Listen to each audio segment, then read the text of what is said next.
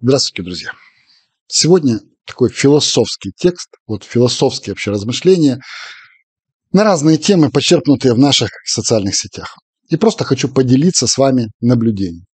Поскольку Facebook меня выпилил, ну, не то чтобы нафиг, но на месяц, а, собственно говоря, возвращаться я особо и не планирую.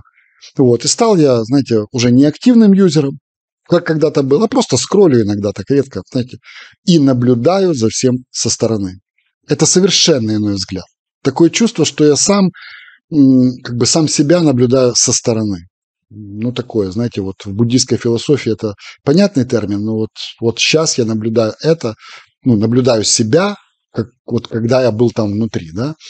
Вот. Может, это у меня такая лента, конечно, в Фейсбуке, но раз через два идет пост с агрессией и проклятиями. Я думаю, справедливо, конечно, и понятно. В адрес россиян, Путина, Кремля. Вообще вопросов нет. Но вот вопрос. А читают ли россияне эти посты? Даже если видят. А читает ли их Путин или Кремль? Простите, но сомневаюсь. Но кто-то ведь является адресатом. Ну не зря же клацают по клавишам. Хм, выходит, адресаты – это мы? Ага.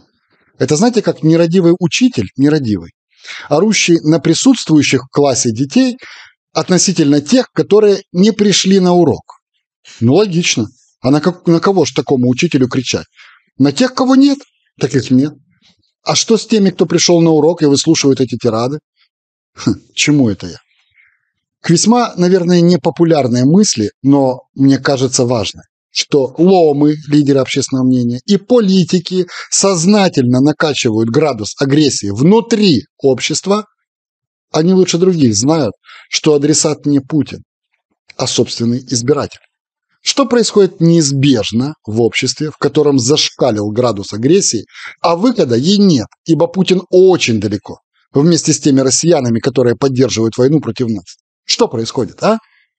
Тогда взоры обращаются на тех, кто рядом. И вспоминаются старые обиды.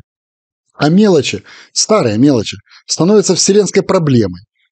И им находится простое решение. Знаете, такая магия простых решений, та самая.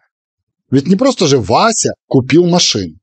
Это же он родину Путину продал, да? И денег у него больше, потому что он Путину продал. Тайно помогал ФСБ. А Петровна? А это Петровна. Ну ясно же, что по научению Путина это она согрешила с чужим мужем. Да, давно согрешила. И что? В магазине продавец не так посмотрел. Давно пора было ему все сказать, а лучше пальнуть него. Ха, а чего у них свет горит? А почему машина дыренчит? Ну что? Ну и что? Что? Ну и что, что не Путин? Машина-то у него дыренчит, правда? И политики первыми этим пользуются. Достаточно поджечь спичку. Раньше бы коробок, коробка спичек не хватило. Таким обществом легко управлять. Такое общество легко стравить друг с другом. Понимаете? Нереализованная агрессия почти всегда выливается не на виновников, а на тех, кто рядом. Я еще могу понять там разные мемчики, но воинственные агрессивные посты, коих миллион уломов и политиков, это однозначно технология, либо поддержание негласного, общего, сверху заданного тренда. Тренда на самоуничтожение общества. Знаете, вот так, как мне кажется, благими якобы устремлениями изложением эмоций в адрес виновников преступлений и войны против нас на самом деле провоцируется внутренняя война на радость тем, кто принес внешнюю. знаете, иногда мне кажется, что нас давно загнали в загон, в котором мыслить – это преступление, а критично мыслить – это измена Родине. Нет, не власти. А все те же поросята. Я имею в виду, не власти загнали, а те же поросята. Они воинственны, глупы, а власть, к сожалению, почему-то лишь помогает им.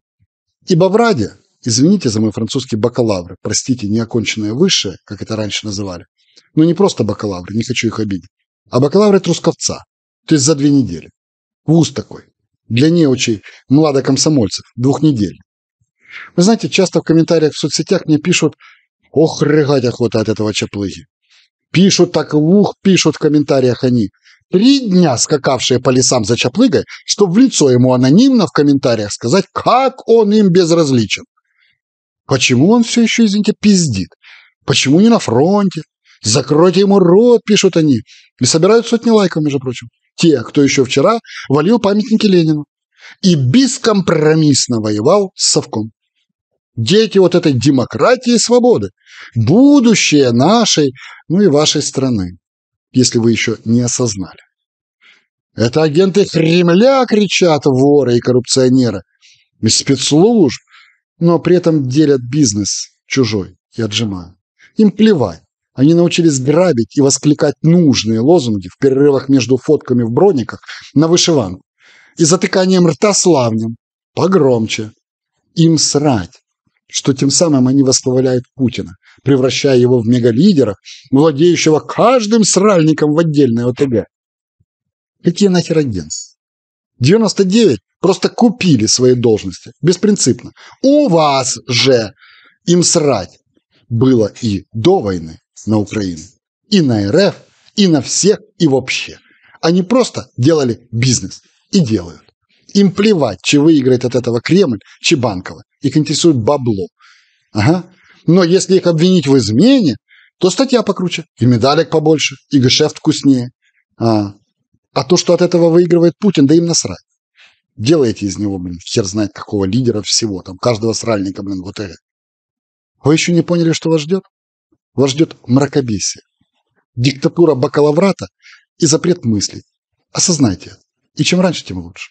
Потому что когда вы это осознаете, ответьте на простые вопросы. Рынок труда филюют ваши личные проблемы с образованием, а? Может, революции, войны или перевороты это изменят? Бизнес? Серьезно? А какова покупательская способность народа? А? А дальше какова будет? А, а комсомольцы? Они же голодные и агрессивные.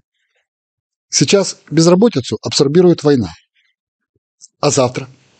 Что я писал про рынок труда? М? А что вообще с трудом и гарантиями? Ничего у Третьякова не хотите спросить? Вы либо продолжите за свой счет абсорбировать безработицу после войны, платить дань, по сути, либо отдадут нам денег. М? Серьезно? Сотни миллиардов? А кто? А зачем? А почему? Он даже 8 копеек не дают. И орут. Знаете почему? Говорят, дефолт будет, не дадим. А, репарации и контрибуции. И буции. Анануции, друзья мои. Откройте хотя бы Google прямо сейчас. Жертвы вы мои бакалаврата. И хоть определение этих слов почитайте и осознайте. Никогда. Сами, без меня. Осознайте. Хотите со мной поспорить? Ну ок. Напишите мне свои ответы. Потом на сутки отключите телевизор и новости и просто думайте. А потом через сутки прочтите просто самих себя же. В тишине. А выход есть? Я думаю, да. То есть прямо сейчас мы обязаны немедленно национализировать все природные ресурсы страны, включая аграрный сектор. Привет баронам. Мы должны создать по образу Норвегии государственный фонд с неотчуждаемыми акциями или долей каждого гражданина в нем, который бы управлял ресурсами и был бы социальным и пенсионным, по сути. А также мы обязаны списать, ну, реструктуризировать и списать, простить, долг. Либо, если не это, все, подчеркиваю, либо уедьте. Чем раньше, тем лучше для вас. Мы никогда не отдадим даже половину того долга. Никогда. Что может быть платой? Ресурсы страны. На земле и под землей. Думаете, вам дадут ренту? Ну, то есть если даже отдадите ресурсы.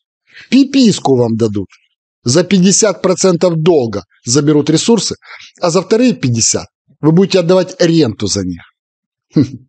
Вложить нам сюда бабки в нас? Серьезно? А как быть с данью, описанной мною чуть выше? А ведь там оружие. Мы прошли точку невозврата. К сожалению, прошли. Все. Вы можете прятаться в виртуальной реальности, несуществующей страны до 24 февраля. Ее больше нет. Вы можете прятаться в этой виртуальной реальности, жить в стране до 24 февраля. Но нет ее больше. Нет. Она будет другой. Будет. Обязательно. Наша страна будет, поверьте. Просто другой. Но вам нужно либо осознать это, либо, ну, я не знаю, что пожелать, жить в той виртуальной. Поймите, пенсии у вас не будет. Как нет и трудовых гарантий, страховых выплат, их тоже не будет. Никогда и никак. Простите, это уже объективная реальность. Уже привет Третьяковой и всем остальным. Вам нужно осознать, что ваши дети будут просто не конкурентны по сравнению с теми, кто уехал. Это объективная реальность образования и рынка труда. Что бабки правят миром именно в периоды нищеты. А эти бабки не у вас. Они у тех, кто ворует сейчас и кто управляет долгом сегодня. И у тех, кто их вывез. Когда вы это осознаете, точнее, чем раньше, тем лучше. Рано или поздно вы уедете и будете ненавидеть тех, кто ехал раньше. Или рано или поздно вы поймете, что Ганди был прав. Это его слова. Мы рождены не для идей, а для жизни. Но где вы, а где Ганди? И что ничто не сможет вернуть вам время. Поймете, что счастливые дети только у счастливых родителей, а не у тех, кто несчастен якобы во имя высших целей или мифического будущего детей в ваших тяготах сегодня. Это сказал Ганди, не я. Украина, конечно, будет клондайком, как когда-то после распада Союза была им для Восточной Европы, но только для очень узкого круга выживших. Мне говорят, Михаил, что делать? А я всегда отвечаю, а в какой из геометрий? Говорят, что? Я говорю, вы случайно не бакалавр Трусковца? Хорошо, поясню. Есть эвклидовая и неэвклидовая геометрия. И той, и другой геометрии. Но законы в одной не действуют в другой. Есть политика, есть военный. Мир – это всего лишь период большой глобальной функции войны. Задача политиков – не допустить войны и продлить мир. А если пришла война, политики, простите, усрались нах. Кто в этом виноват? Я, избиратели. Когда пришла война, кто правит? Военные? А я военный? Нет. Ну так что меня спрашивают? Политик, политик, может выступить только за мир, по определению. Если политик выступает не за мир, то он не политик. Сори, простите, это определение. Понимаю, это слом шаблона. Равно как и две геометрии. Военный должен выступать за победу любой ценой. Это законы природы если началась война. Если военный выступает за мир, это как политик, выступающий за войну. Простите.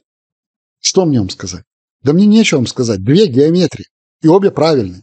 И мир – это всего лишь элемент вечной войны. Но это иная геометрия. Как из неевклидовой пояснить Евклидову? Вот как? Просто выключить, наверное, телек и осознать одну простую вещь. Жизнь – это то, что Бог дал для продолжения рода. Коротко. Коротко. Жизнь. Коротко. И обратно не вернуть каждую секунду этой жизни. Каждый сам себе решает, в какой из геометрии жить. Это свобода. Свобода, данная Богом каждому. Свобода выбора. И никто не имеет права судить, кроме Бога, если мы республика. Кто-то живет одной геометрией, кто-то в иной. И все правы, поверьте, все. В каждой из своих геометрий каждый прав. Ну и про мову. Ну как же без нее? А, анархист мне пишут, правильно описал проблему мовосрачей, двух Украин там в своих постах и так далее. И да, это страшно не описанием анархиста, а тем, что реальность такова. А значит, есть две войны. Одна с агрессором, а вторая та, которую нельзя назвать вслух. Привет поросятам. Привет этим разжигателям внутри. Ну а мне отвечают, то все тому, що російську мов не вважаються расистами. Простите, я отвечу. Так это же проблема вашей головы.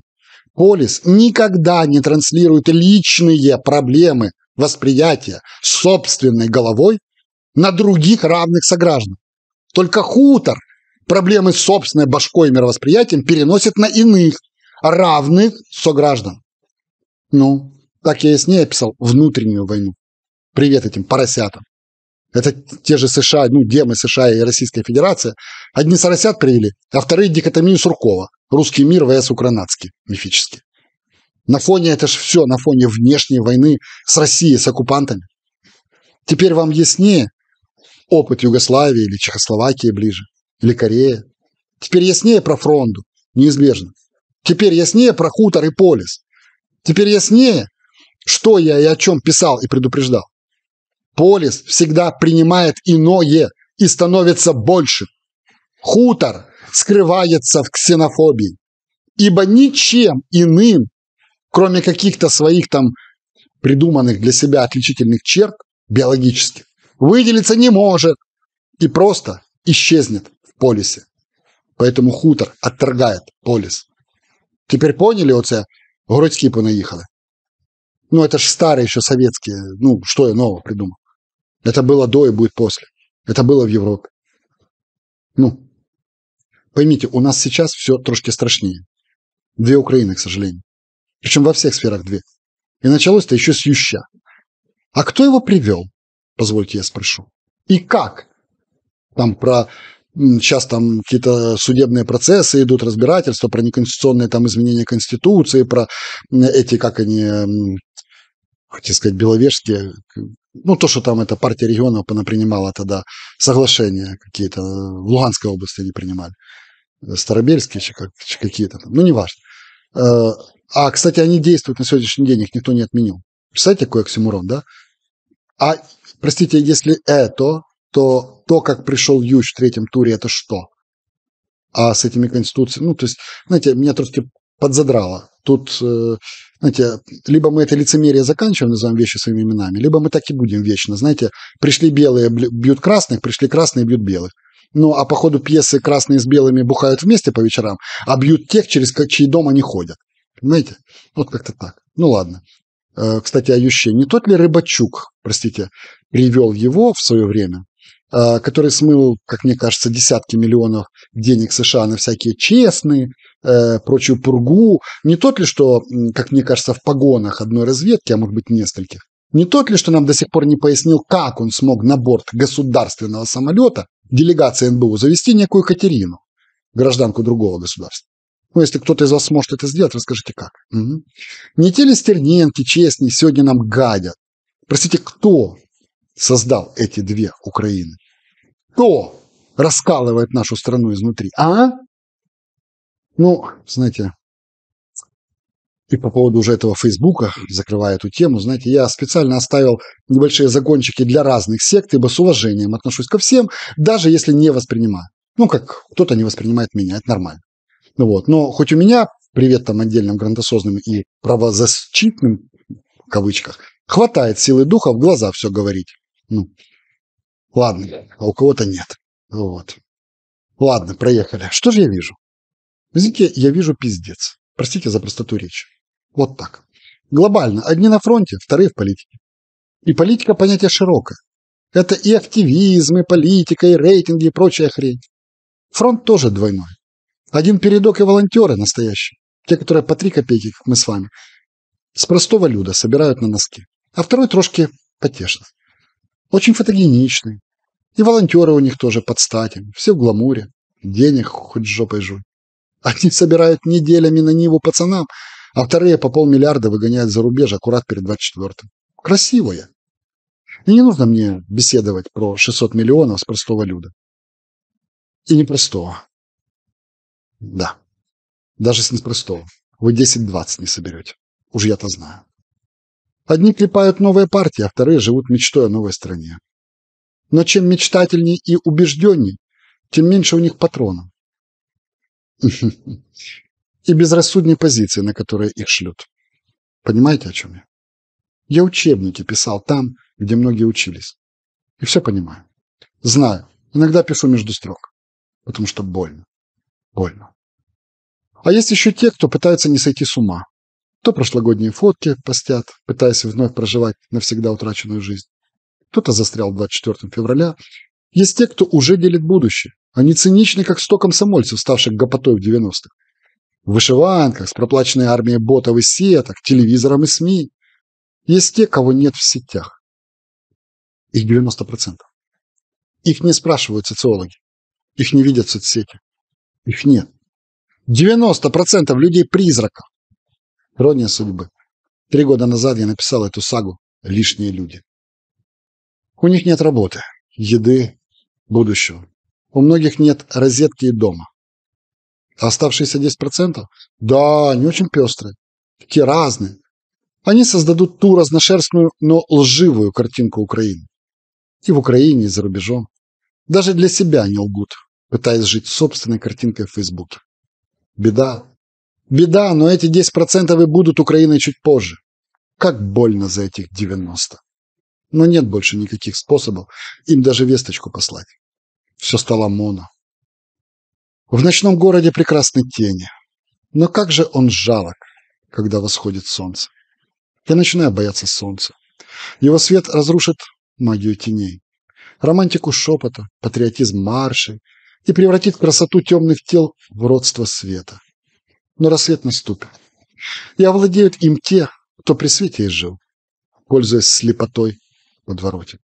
А остальные даже не успеют открыть глаза. Они сами их закроют, приняв свет. Анархист, кто-то скажет, опять накатил. Ну, не без этого, конечно, хоть не сейчас. Но вы и без меня знаете, что это было во времена Вавилона, будет и у нас. Знаете, но не принимаете. Как юноша, считающий вечность вечностью, каждую секунду до рассвета. Обнимает девушку. А потом будет день. Аминь. Здравствуйте, друзья. Переквалифицировался это я в э, психотерапевта. Вы не поверите, но это будет самая востребованная профессия в ближайшие 5-10 лет. Да-да, именно психотерапевт. В общем, открыла маленький кабинет, да, уйдя из политики и переквалифицировавшись. Ну, диалог. Понятно, сатирический, понятно, едкий. Диалог в кабинете психотерапевта. У меня, то есть. А, то то його, то його, а що вони там умнічають в тому Києві? Опять наші вернуться, а вони там жирують? Ну да, опять. Бо жодна революція чи війна не змінять ринку праці, не додадуть фахових здібностей. То ми самі посадовимо наших на посади. Не сумніваюсь. Але чи додасть це фаховості? Може, вони зможуть професійно управляти? А що буде в результаті? Чи не ви перші почнете голосити, що влада нікчемна? Зате будуть наші. Я знав. Ви протестуєте не проти того, що крадуть, а проти того, що крадете не ви. Так? Хм. Всі зрадники. Чого ви взагалі не на фронті? Бо кожен мусить робити те, на що вчився і що вміє. Там навчать. О, якби ви ходили в школу, то знали б, що середньовіччя та феодалів, ну і ті ж, ті ж теж навчали, селян для війн, але це пройшло. Одні зрадники навколо. Ні. Просто цікаво, чи пішли б ви до гінеколога, якого навчили за два тижні. Примусово. Це інше. Хм, Звичайно. Мій чоловік на фронті, а ви всі по Києвам. Рулять оце. І що? Ваш чоловік добровільно пішов? Так. Е, Скажіть, а хіба він це зробив для інших? Він це зробив за покликом власної душі. І точно не для того, щоб цькувати інших. Але він там, а вони тут. Хм, То ви, видно, проти такого вибору. Так несправедливо. Що несправедливо? Кожний сам вирішує. Ми ж республіка. Тут громадяни самі для себе вирішують, а не для інших чи за інших. Чому мій там, а вони тут? Ну так то їх вибір. Його призвали. Не зрозумів. То ви проти тих, хто тут, чи проти тих, хто призвав? Це різні речі. Зрадники навколо. Ясно, ясно, ясно. Ще раз. Ви проти тих, хто призвав, чи тих, хто в Києві? От треба визначитись. Вибір чоловіка був власним чи примусовим? Не скажу. То варто розібратись. Проти чого ви? І чим завинили перед вами особисто ті, хто в Києві? Вони всі вороги. Чому? Тому що змогли виїхати чи не призватися ви ні? Адже ми всі українці підтримуємо один одного. І ті, хто на фронті, і ті, хто виїхали, і ті, хто лишились. Мої там, а вони тут і поза границях. А ви б хотіли туди? Ні, в мене немає коштів, то багатії. А якби були? Не провокуйте. Хм, Ясно. То ще раз. В республіці громадяни самі вирішують, чи не так? Хто йде на подвиг, роблять це за гроші чи, чи по поклику? Подвиг роблять за гроші чи по поклику? Для майбутніх бонусів чи по поклику? Для своєї совісті чи для вимог від інших? А? Не провокуйте. Не провокую, просто питаюсь. Бо кожен сам робить свій вибір. І ніхто не має права судити інших за їх вибір, крім Бога і них самих. Адже це є принцип республіки. В нас не було ні грошей, ні вибору. О, нарешті ми дійшли до суті. А то часом не ви обирали керманичів, чи з Марсу їх привезли? Чи, може, Путін привів? То тепер нами правити будуть ті, хто в Києві чи виїхали? Ха. А до того вами хто правив? Дух Святий. Ми все змінимо, це буде наша країна. О, так. І це дещо лякає. Ви впевнені, що у вас є досвід і фах? В мене є право. Не сумніваюсь. Саме ті, в кого немає фаху, але є право, закінчують розпродажем активів батьківщини за три копійки і з позором ідуть у небуття. Зараз хоч поживемо. Не сумніваюсь. Але ще раз питаюсь: у вас фах є? Нема. Але он, вони ж правлять з трускавця. То ви хочете так само? То ви не проти них, ви просто ви їм заздрите? То ви і є ті 93%? То що нам робити? Ха, не знаю. Вчитись, вчитись, вчитись. Але це тепер лише доступно там. В нас немає грошей. Ну ви ж зруйнували ненависний соціалізм з його безкоштовною освітою. Це ж ви самі хотіли, правда? Ми хотіли, щоб все було по справедливості. Ті крали і нам давали.